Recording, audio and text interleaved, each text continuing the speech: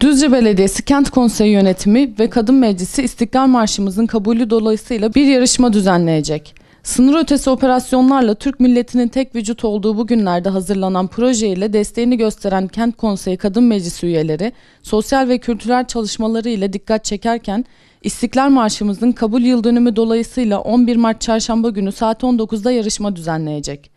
Büyük, küçük, genç, yaşlı ve çocukların katılımıyla düzenlenecek yarışmada İstiklal Marşı'nı en güzel okuyanlara hediyeler verilecek.